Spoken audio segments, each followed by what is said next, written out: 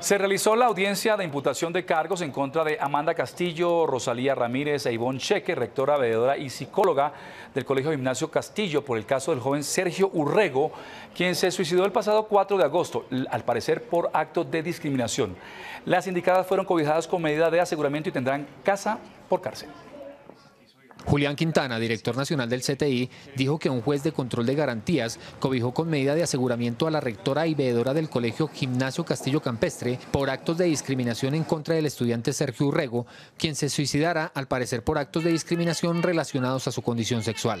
Lo importante aquí es que se hizo una imputación eh, por los delitos de eh, falsa denuncia, eh, destrucción de elemento material de evidencia física y muy importante el delito de discriminación. Según la Fiscalía, el estudiante Sergio Urrego fue presionado por su condición sexual diferente para aislarlo de su familia y sus compañeros de estudio. Estas tres señoras, eh, haciendo un resumen de los hechos, eh, presionaron, coaccionaron al joven Urrego para que, según eh, su condición sexual, que era diferente, aislarlo de su familia, aislarlo también de sus compañeros de estudio y además de eso también aislarlo de su círculo académico.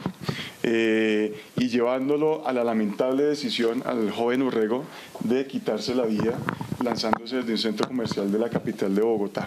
Las investigadas afrontarían una pena entre 4 y 10 años de cárcel.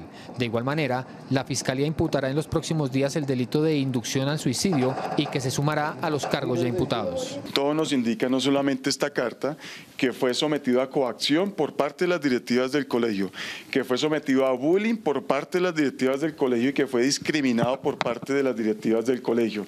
Y este joven, como les he dicho, no tuvo más remedio que tomar esa lamentable decisión de quitarse la vida por la presión de sus directivas. Así que hoy la Fiscalía toma una decisión fundamental para el país y es la primera decisión judicial que tenemos en Colombia sobre discriminación de la comunidad gay.